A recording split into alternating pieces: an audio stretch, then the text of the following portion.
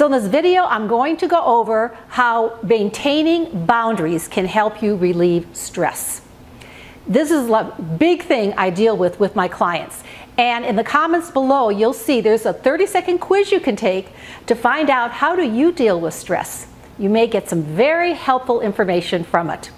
So maintaining boundaries is essential for your mental and emotional health. It's also for your self-esteem and self-respect. If you don't maintain those boundaries, it kind of starts eating away with you, and there's a big connection between boundaries and stress. And we may do it, you know, we may work on it and create the boundaries, and then something happens. I know this is the case for me right now.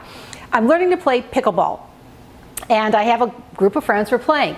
Well, this time of year where I live, it's very hot, so they like playing inside as opposed to outside. It's too hot. I don't like the facility where we play inside. I just, there's something about the vibe, the aggressive people there. I prefer to play outside. So I find myself just making all kinds of excuses why I can't meet them. And I know this week I have to clearly state my boundaries. That I just don't like playing at the indoor place, and once we can play outside again, I'll join them again.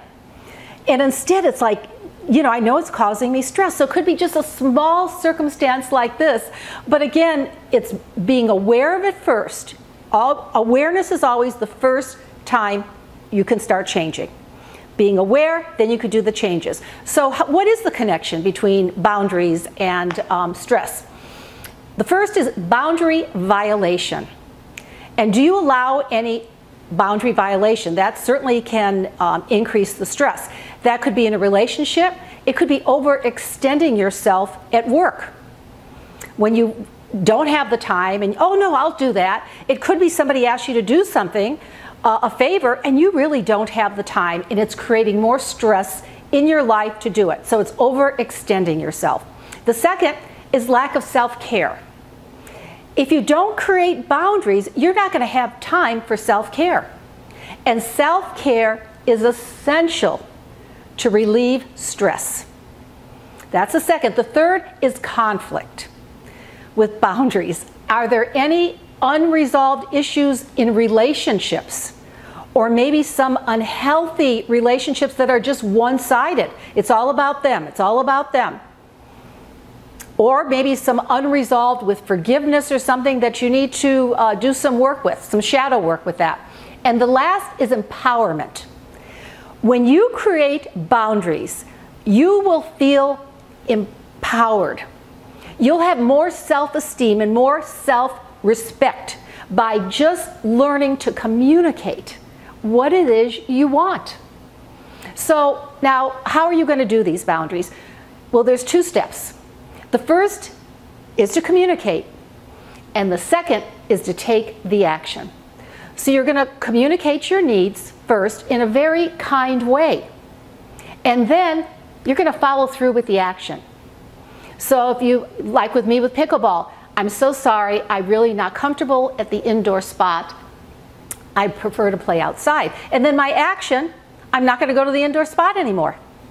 And setting boundaries can be as simple as saying no. A lot of times, no is a complete sentence. Remember that. It's just saying no. And if you're uncomfortable doing it, think of a time when somebody said no to you. How did you feel? Maybe journal about that. And then think of a time when you said no. How did you feel? You're not carrying that stress and energy into your day. It's a clear boundary. And if you have trouble saying no or communicating, practice. Write it down. Practice saying it in the mirror. The more you practice, the easier it will be. And the last thing, if you communicate, you take action, and people are still not respecting your boundaries, don't let them slide at all, not even one time. Communicate your needs again and don't let them slide. Remind them what it is you deserve and what boundaries you set. I'd love to know in the comments how you feel when you say no and how do you feel when someone says no to you. And do you practice in the mirror? Let me know. Sending you lots of love and light. Till next time, and remember, take 30 seconds to take that quiz on stress.